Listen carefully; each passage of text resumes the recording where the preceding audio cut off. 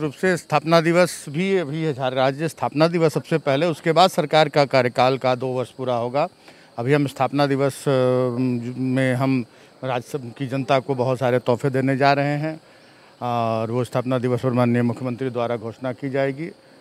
और दो साल का कार्यकाल तो उनतीस दिसंबर को पूरा होगा। उस समय भी हमने क्या किए, क्या खोया, क्या पाया इन विपरीत परिस्थितियों में कैसे हमने राज्य को पटरी पर रखा ये सारी चीज़ें जनता के सामने रखी जाएँगी और जनता को बहुत सारे उपहार भी दिए जाएँगे। का डिमांड है सबसे बड़ा नियुक्ति। बोल रहे दो साल में उस लेवल पे कुछ नहीं हो पाई। उसकी चिंता सरकार को है। सरकार जब को जब ज़िम्मेदारी जनता ने दी है चाहे वो युवा हों किसान हों मजदूर हों या नौकरी पेशा लोग हों या व्यवसायी हों सभी लोगों ने मिलकर ज़िम्मेदारी सौंपी है। राज्य सरकार को राज्य सरकार का ध्यान सभी और है। और समय पर सभी लोगों को अपना हक अधिकार मिलेगा और आपको बहुत जल्द इसका आपको इसकी झांकी देखने को मिलेगी।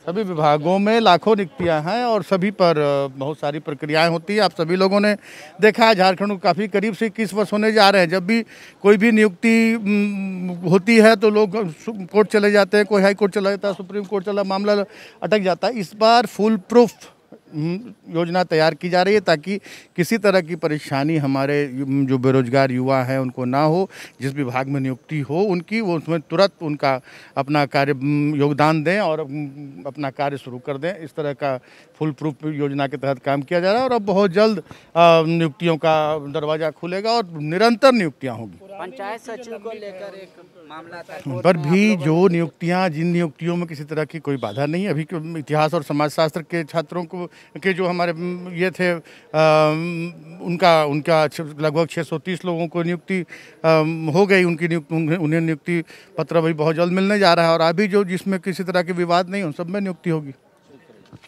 विवेकानंद विद्या मंदिर स्कूल एक CBSE affiliated English medium coed school है। हम शिक्षा के साथ संस्कार देते हैं। The follow up dot in like and